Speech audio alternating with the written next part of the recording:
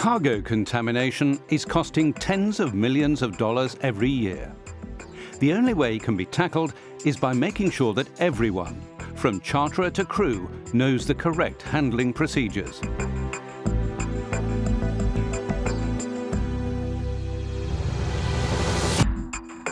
In this video, we define contamination, its causes, the measures to avoid it, and what can be done should things go wrong. Planning is the key. Tanks and lines must be prepared. Delivery and control systems put in place.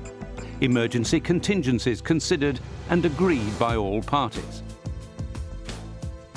Sampling before and during loading must be carried out to a strict timetable and procedure. Protecting the interest of the ship is paramount. Precisely logged and securely stored samples from both ashore and on board ship will be vital evidence in the event of a dispute. Monitoring of the cargo should continue throughout the voyage to safeguard its quality, protecting it from risks such as water ingress or faulty temperature control.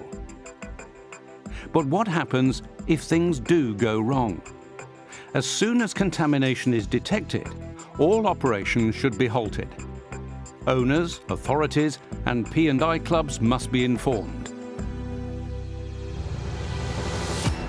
Samples are taken for laboratory analysis to establish where, when and how the problem arose. Their results will determine what action to take next. The financial cost and damaged reputation that result from contamination can be huge. But with best practice, this can be avoided.